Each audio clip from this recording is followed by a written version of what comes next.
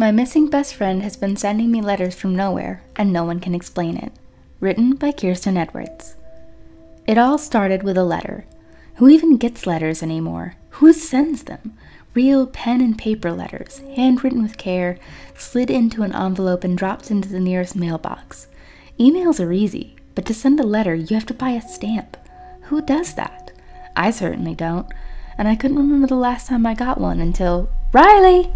My mom shouted up the stairs. I had just stepped out of the shower and ignored her to wrap a towel around my dripping torso. I rubbed the steam from the mirror and leaned forward, frowning at a small pimple on my chin. Riley! I pulled open the bathroom door. What? You've got mail. She was standing at the bottom of the stairs, a crisp white envelope in her hand. She waggled her eyebrows and said, How old fashioned. I laughed. Probably junk. I swear I paid my credit card this month. Sure you did. She winked and placed the envelope on the bottom step. But it's not junk. The address is handwritten and it looks like it's made quite the trip to get here. She shrugged and disappeared into the living room. I heard the television switch on and Dr. Phil's condescending voice drifted towards me. Thinking nothing of it, I went to my room to get ready for work. It wasn't until I nearly stepped on the letter as I came down the stairs that I remembered. I stooped to pick it up, turning the envelope over. It was not so crisp and white after all, but rather crumpled and dirty. It looked as though it had been dropped several times and possibly stepped on. But on the front it said, in neat cursive writing, my name and address. Something about the smooth, looping handwriting was familiar, and I curiously tore it open to remove several small pages of rough, cream colored paper. As I unfolded the pages, I immediately recognized the writings as my best friend Brianna's. She'd always had the most perfect penmanship, making my handwriting look like a chimp had been given a pen and paper. Dear Riley, I write to you from a land far, far away where the days are long and the nights longer. The stars are strangely bright here, as though they are closer to this place than the rest of the world. Strange birds flutter around sometimes when the sun is going down, making noises that resemble coughing men. I caught sight of one yesterday, and I am disturbed to report that these birds are unlike the birds of this world. Their eyes are blood red and their feathers an oily black. Demon birds from beneath the ground. I don't glance up at them any more, but I sense they are looking down at me. The grass here is also very strange. It grows in a way that makes it look as though there is a constant wind blowing, perpetually leaning one way. The green shade of the blades is unlike any other I have seen. One of the locals told me it is stained from the blood of thousands of fairy creatures from a war that has waged for many hundreds of years. The utter strangeness of the place I'm in doesn't end there. Every Sunday evening, when both the sun and the demon birds have gone, I begin to hear strange cries in the wind. They start quiet but get louder as the hours drag by. By midnight, there is just one cry made up of hundreds, and it is an eerie sound. No one will tell me what is going on, but I sense there is a great secret here. The people treasure their mystery, and my questions are waved away carelessly. I hope this letter finds you in good health. Yours truly, Brianna. I stood in the hallway staring down at the pages in my hand. What the hell was this? I turned the envelope over again and saw that there was no return address. Only my address, accompanied by a very ordinary stamp. Who's it from? My mom asked as she strolled by with a mug of coffee. I jumped, and seeing the look on my face, she stopped. What's wrong? Nothing, I said quickly. Just Brianna being a weirdo. My mother chuckled. I'm glad she hasn't changed. Is she still at Dalhousie? Yeah, this is her last year though. Well, write her back. My mom went back to the couch to resume her show. Tell her I say hi. I took the letter up to my room and reread it. Then I read it again, and again, and again, and again, until the words swam in front of my eyes and I was left more confused than when I'd first started. Brianna had always had a strange sense of humor, but she'd never been much of a storyteller. This letter was strange, all right, but written in a way that was almost believable. I reached for my phone on my bedside table and shot Brianna a text. Hey, freak, I got the letter you sent. Are you minoring in creative writing now? Your parents will be so proud. Big money.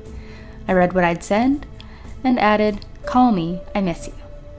Though we'd been best friends since we were nine years old, I hadn't spoken to her in almost two weeks. She always tried to make time for me, but she had school, I had work, and our schedules rarely matched up.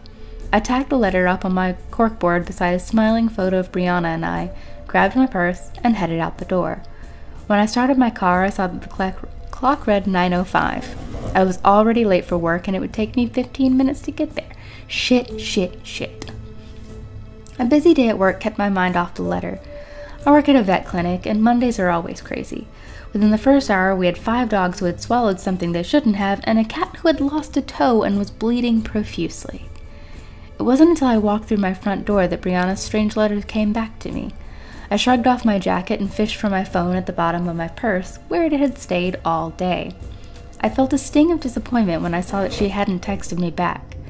She was a busy girl, but she always managed to answer my messages almost immediately.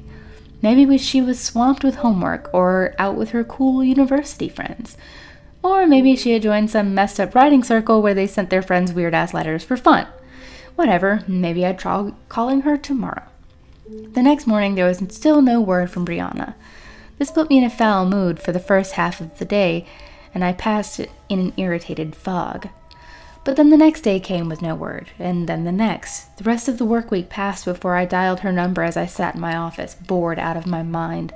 Friday afternoons were always slow, and I couldn't shake the paranoia that she was ghosting me on purpose. Ring, ring, ring, Ring, ring. Hey, you've reached Brianna's cell. Please leave a message or text me instead, and I'll get back to you as soon as I can. The beat sounded, and I said, Hey, loser, did you misplace your phone again? I texted you forever ago and you didn't respond. Very rude. I fiddled with the pages of the calendar on my desk. Your letter was super creepy. The fact that you sent me a letter in the first place is also creepy. Please call me back before I call the creep police. An older man with a startled looking parrot burst through the front door. Gotta go. Talk to you soon. Brianna didn't recur- return my call that weekend, and worry began to take over the anger in my chest. This was very unlike her. The longest she'd ever gone without texting me back was three days, and that had been two years ago when she'd gotten very drunk and thrown her phone out of a taxi window. Brianna was a goof, a little too spontaneous, but never a bad friend and never one to leave texts and calls unanswered.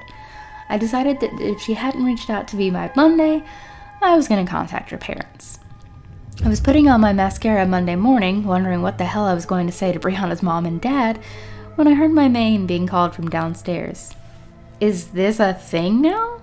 My mother was holding an envelope, same as the first, with a big grin on her face. I must have looked at her strangely because she said, What's with the face? I think it's cute. I took the letter from her without a word and went back to my room. Don't you have to work? she called. I closed my bedroom door and heard her money mutter, Alrighty then. The writing on the front was identical, my name and address in fine cursive. The envelope was similarly dirty and stepped on. I opened it slowly, oddly fearful of what was inside. Dear Riley, I trust you've been well since I last wrote you. Letters don't often find their way here, so if you've written me back, it is likely I will never receive it. The oddness of the situation I found myself in continues.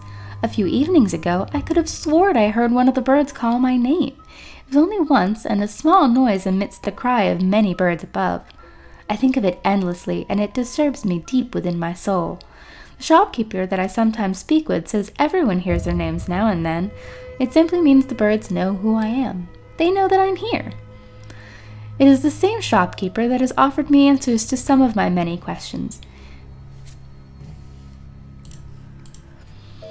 He has told me that every murder that has ever occurred in this place has happened on a Sunday. He says this goes back hundreds, maybe even thousands of years. When I asked if this had something to do with the horrifying cries I hear on Sunday evenings, he only stared at me and placed a finger on his lips. I gather that my questions are unwelcome and possibly even dangerous to be asking, but I will not stop asking. A curiosity has bloomed within me. Surely you understand. Still yours, Brianna. I dropped the pages like they were fire and rubbed my hands across my face. What was going on? Why was she sending these to me? Why hadn't she called me back? I grabbed my phone and dialed Brianna's numbers with shaking fingers. Hey, you've reached Brianna's! I hung up immediately and punched in the number to Brianna's house. Her mother answered on the second ring. Riley, she squealed. What a delight! We just got caller ID, and I'm still not over how handy. Mrs. Lawrence, have you spoken to Brianna lately? I interrupted. Brianna? I spoke to her just last week. Why? When last week? Sunday afternoon? The tone in her voice changed. Why? What's wrong? I took a deep breath. Last Monday, I got. Well, I got a really weird letter from her in the mail. I just thought she was trying to freak me out or something, but. What kind of letter? I don't know how to explain it. I got up and took the first letter from my corkboard. It's in her writing, but it doesn't sound like her. It's written like she's telling a story or something. Did you try calling her? Yeah, I did. I struggled to keep my voice from trembling, but she didn't answer. I texted her too. I figured she was just busy, but today, today I got another letter in the mail. There were several moments of silence, then, Could you come over here, Riley, and bring the letters? Of course, I said. What are we going to do? I'm going to call the police, Mrs. Lawrence said. John told me yesterday Brianna hasn't been answering any of his calls or texts. John was Brianna's dad, and they'd always been extremely close. I could hear tears in her voice. Oh my god, I didn't even think twice when he said that. At first, the police didn't seem very concerned. A girl at away at university not answering her phone? You know how girls are friends, boys, school. She was probably just preoccupied. But when the subject of the letters came up, things got very serious. Two detectives came to the house to ask some questions. Was I sure she had written the letters? When was the last time we'd seen her? When had we spoken to her? Had we tried speaking to any of her friends? I have her roommate's number, Mrs. Lawrence said tearfully, pulling out her phone. The detective sat quietly as she made the call, but it was a short one. No, she hadn't seen Brianna in more than a week, but her shoes were gone and so was her overnight bag. I figured she had gone home from a visit, I heard Lauren say. She had been Brianna's roommate for almost two years and sounded frightened. Usually we would wait before launching an investigation, said Detective Kingston after Mrs. Lawrence had hung up. But these letters raised some suspicions. He held one letter in his hand, and his partner was frowning down at the other. They're very strange, said Detective Peetler. Peltier. Her brow was furrowed as she read the, the pages. I don't know what to make of them. We'll get into contact with the university right away, and I'll need the roommate's number for any further questions, said Detective Kingston. In the meantime, keep your phones on you. He leaned forward to touch Mrs. Lawrence's arm. Don't worry, we're going to get some answers, and please, he looked to me, let us know if you if any more letters come. The next Monday, another letter did indeed arrive. My mother handed it to me with a grim look on her face, and I called Detective Kingston immediately. Upon his request, I didn't open it. A mix of anxiety and curiosity was burning a hole in my chest as I opened the door and handed over the letter. Any news? Can you tell me anything? I asked desperately. Nobody has seen her, Detective Kingston said, his voice heavy and tired. He had bags under his eyes and his clothes were a little disheveled. I don't understand. It's like she packed up and disappeared into thin air. I shouldn't be telling you this, he added quickly, so keep this to yourself but there are no records of her taking a bus or a train, nothing. Even the cameras in her apartment don't show her leaving. Days went by in a haze. I was a zombie, tormented by thoughts of my missing best friend and the letters she, that kept coming like clockwork every Monday morning. Around noon, an officer came to pick up the letter and deliver it to the detectives. They confided to me that there was nothing traceable about the letters themselves no return address, nothing to hint where the paper was from, and the place Brianna described in increasing detail simply didn't exist. Once the letters had been looked over by the police, forensics detectives, evidence team, whatever, it was returned to me. I knew this was unusual. In any other case, the evidence would be kept indefinitely. But the problem was that they had no case. There were no fingerprints on the letters besides those of the post workers who had handled them. There was no evidence to suggest she had been kidnapped. The only thing that was certain was that they were written by Brianna. When I was feeling up to it, I would read the letters I hadn't got a chance to open myself before placing them in a folder I kept beneath my bed. Riley, are you at home? Three months had gone by since the first letter had arrived. Brianna's birthday had passed. Christmas had gone by. New Year's had come and gone. There were still no leads so I was surprised when Detective Kingston called me on a Thursday evening. Yes? D- did you find something? We don't know, but we're coming over with a photo. Stay put. The detectives had several, several stills of a man standing at a postbox. He was dressed oddly in dark clothes that looked handmade and hair that was long and unkempt. He was glancing over his shoulder as though keeping watch for danger. In his hands was suspiciously familiar looking envelope. One of our video technicians was going over footage from cameras situated near Brianna's apartment. Detective Peltier handed me the pictures and pointed at the envelope in the man's hand. That look familiar to you? I felt oddly numb as I stared down at the stills in my hands. The envelope, yes, but not the man. We put him through our facial recognition software and got nothing, Detective Kingston sighed. Unfortunately, this footage is fairly old. It's from Monday, November 14th. This was the only time he was at that mailbox. This guy could be anywhere by now. Numbness was replaced with a sense of overwhelming dread. That's the day I got the first letter, I whispered. Hold on. Detective Peltier held her hands up in a halting motion. This guy looks like he's delivering the letter. How could it possibly have arrived on the same day? Maybe the postal service was extra fast that day? said the extra detective. What's the timestamp again? He took one of the stills and squinted at me. 8:30 in the morning. Both detectives looked to me expectantly, and I thought I was going to throw up when I said, I got the letter around 8:45 in the morning, just before I left for work. Nobody said anything for a long while. My thoughts ran circles in my head, questioning how this could be possible. Letters don't get from Halifax to Toronto in 15 minutes. Girls don't just vanish into thin air, not in real life. Brianna would never run away, and she certainly didn't commit suicide. The more time that went by, the further we were from answering all the questions we had, and the further away we got from the possibility of finding her. What is happening? Detective Kingston asked quietly. Two more months passed. Eight more letters. Eight more strange accounts of sideways grass, talking birds, and screaming in the wind. Hope was draining from me like blood, and I was beginning to feel empty. On a quiet Tuesday morning at the clinic, my cell phone rang. Usually I never answered personal calls at work, but I had this feeling deep within my core that something was wrong. I didn't recognize the number, and this made me feel worse. Hello? Riley, said Detective Kingston. I could hear it in his voice sadness, dread, regret, and a hint of anger. My hand went over my mouth. No, please, no. I'm so sorry, he said. They had found Brianna's body in a forested area just outside of Halifax, partially decomposed in a swamp flooded by the April thaw. A jogger in the woods had stumbled across the corpse when his dog tried to drag the body from the marsh. The teeth marks on her right arm were small compared to the rest of the trauma she had suffered prior to her death.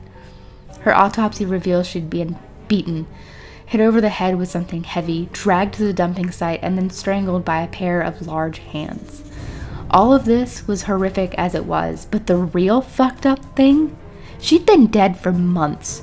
They never caught the man who delivered the first letter, and I suspect they never will. There are no witnesses to speak to, no leads to follow. Her murderer left no DNA, no fingerprints, nothing.